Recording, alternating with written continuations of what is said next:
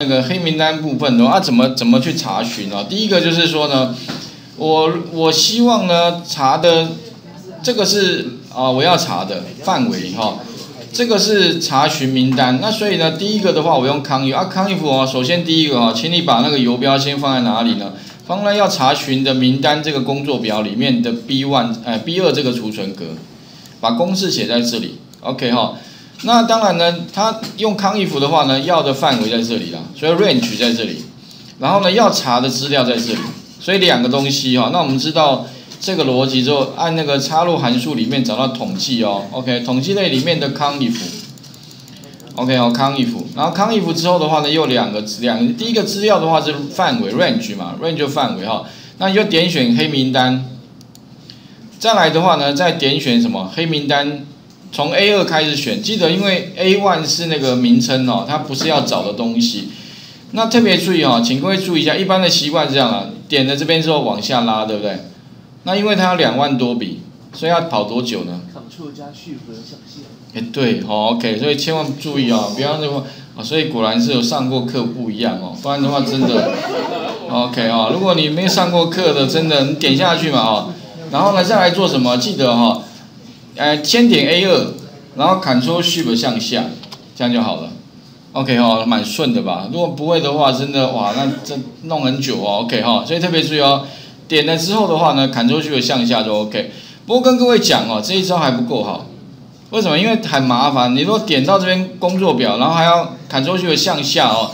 我是建议啊，以后如果像这种跨了工作表之后的一个很大的范围哦，先取消一下。我是建议哦，你干脆直接把。这个范围叫做一个名称，以后就打那个名称就好了。那怎么怎么建一个名称哦？特别注意哦，以后呢，我们一样先切到黑名单，先把这个范围先一样点 A 二，一样 Ctrl Shift 向下，对吧？现在先把这个名称先复制好了哦。以后它叫这个名称，游标放 A 二之后的话，Ctrl Shift 向下，也就是你先把什么，把这个很大的范围先做选取。选取完之后，请你再到我们的 Excel 的左上角有个叫什么？叫名称方块。那什么叫名称方块啊？其实意思说，我可以把这一个范围取一个名称，这个名称呢就叫黑名单。那以后的话，我打这个名称就好了，我不用再什么切到这边来，然后还要点 A 二，然后砍出去这样，不用。以后的话呢，直接打那个名称就 OK 了。那所以要选完之后，左上角输入黑名单三个字，按 Enter。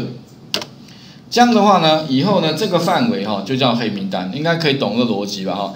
那我们之后的话用康 if 的话怎么做呢？哎，其实最近有没有最近使用过的会出现，好，你不用再点那边按确定。range 刚刚是要切过去，现在不用，请你呢直接打黑名单三个字，或者还有一个更简单的方法，直接呢哈按一下 F 三，F 三哦，它会跳出什么？名称出来有没有？F 三一按，哎，名称就跳出来，直接点两下就 OK 了。自己打也可以啦，或者按 F 三也可以哈。然后呢，你要找什么？找这个东西，这个 email 有没有在这里面这个范围里面出现？有的话是一，没有就零，按确定。再框向下点两下，全部查完了。OK，所以啊，我们要这这几个是的，OK 哈。然后呢，还有这里，你你这不是，这不是，都不通不是。那可是问题哦，它这个一的部分是分散在很多地方上面。那我要怎么样很快可以把它全部找完？其实最简单的方法哦，就是怎么样几个部分呢？要不就是你把它怎么重新排序？资料里面不是有个什么排序吗？有 Z 到 A 跟 A 到 Z。那如果你诶用什么用 Z 到 A 吧，这个地方有必要放 B one 哦？Z 到 A 的话就是。呃，把那个一放在上面，零放在下面，给让它排序，有没有？哎，一的出现了，就是这几个，有吗？你再把这几个怎么样？复制贴过去就好了。OK，好，这是方法一。但是问题哈，这个排序有个缺点，就是它的那个它的范围会跑掉，就是说它的顺序会另外重新排列。那如果重新排列的话呢，可能会乱掉。那你如果假设了你不希望你这个顺序乱掉的话，那你可能就不能用排序了。你如果不用排序的话，哈，记得啊，资料里面的排序。如果你不用这个的话呢，你可以用这个筛选。这个筛选比较常用。OK，那筛选怎么用哦？特别注意哦，哦，我们第一个游标一样放在 B one，这关键哦，一定要放这里哦。第二个按下筛选，按筛选之后你会发现呢，它会多一个什么？这个箭头，这个箭头就是说要让你去筛选里面的资料啊的一个清单，点下去。那他问你说，哎，你要帮你找到的是哪些啊？是全部吗？还是只要一的部分？如果是只要一的部分的话，那请特别注意啊，你把全选打勾取消，留下一的部分就好了。OK，哦，按确定。哎，你会发现哦。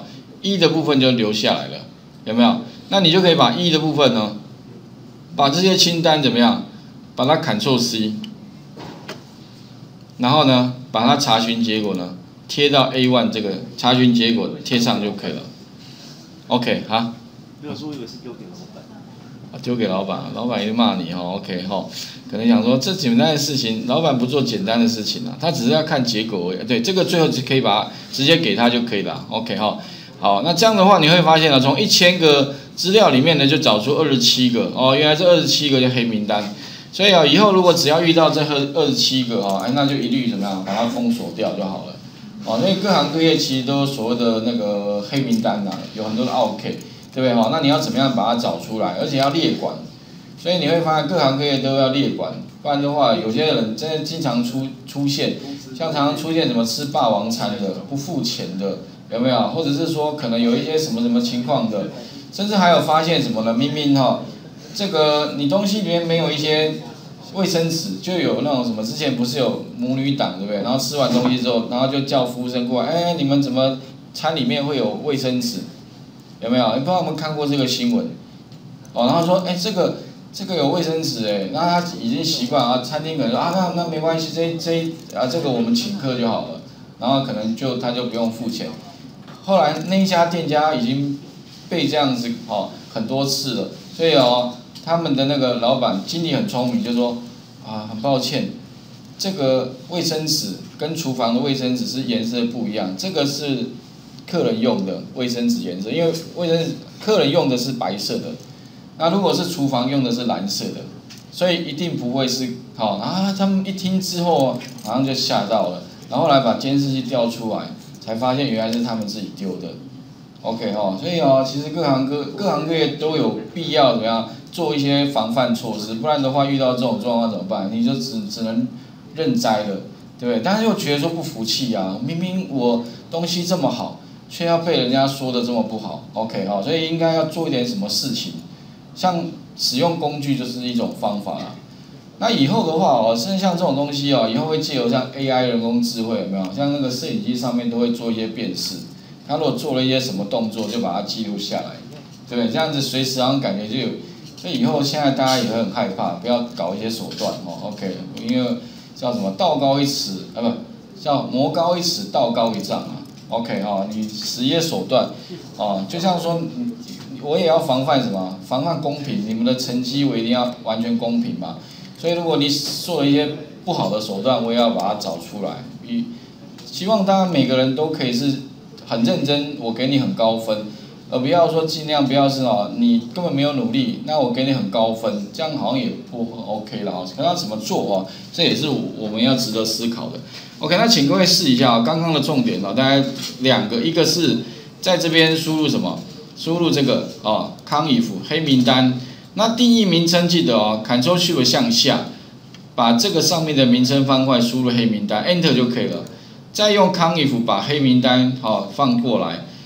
再来的话就是筛选啊，筛选它可以按下去跟不不按下去哦。放 B One 按下去，你可以再找到什么？找到一的部分，把它复制过去。啊，如果要取消的话，就按一下就 OK 了。好，那画面再还给各位一下哈。大概两个功能，那待会的话呢，我们就要再把它变成 VBA 哦，OK。那我们也先下课休息一下，待会再来看后面的部分哦。